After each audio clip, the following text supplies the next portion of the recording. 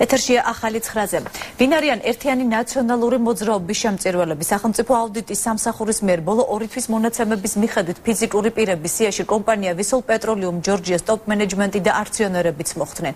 ამის შესახებ სტატიას გურიერ ნიუსი აქვეყნებს. ხუთი მართველი პირიდან 4 პირის 4 პარტიის სასარგებლოდ კანონით დადგენილ მაქსიმალურ ოდენობას 60000 ლარს იცავს.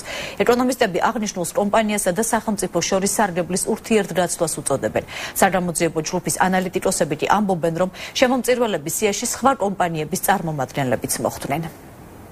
კომპანია ვისოლის ტოპ მენეჯმენტმა და აქციონერებმა ერთიან ნაციონალურ მოძრაობას საერთო ჯამში 260000 ლარი შესწირეს. შემწირველების სია ასე გამოიყურება.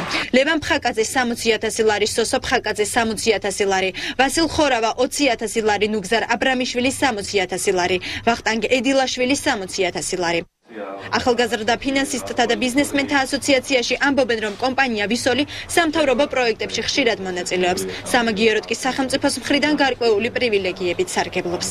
საწვავის ბაზარზე არის კარტელური გარიგებები, საკმაოდ დიდი ეჭვი არსებობს. გარდა ამისა, კონკრეტულად ვისოლი ირევს ისეთ სარგებელ სახელმწიფოსგან, როგორიც არის ეგრეთ წოდებული თეთრსიაში მოხვედრა.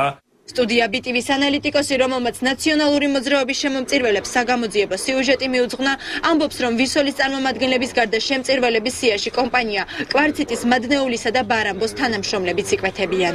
ხო დაქირავებულ მუშახელს, როგორც წარმოგიდგენიათ, რომ შეიძლება 60000 ლარი და დააფინანსოს აჩუქოს სხვა სავარაუდოდ ეს ფული არის თვითონ კომპანიების მფლობელების, რომლებიც თანამშრომლებს აძლევენ ფულს და მათი დახმარებით რიცხავენ ნაციონალების ანგარიშს. სამართლიანი არჩევნების იურისტი სახელმწიფო აუდიტის სამსახურის ვალდებულებაზე ამახვილებს ყურადღებას და ამბობს, რომ მაკონტროლებელი ამ შემთხვევაში ვალდებულია ფიზიკური პირების მიერ შეწირული თანხის წარმომავლობა შეისწავლოს.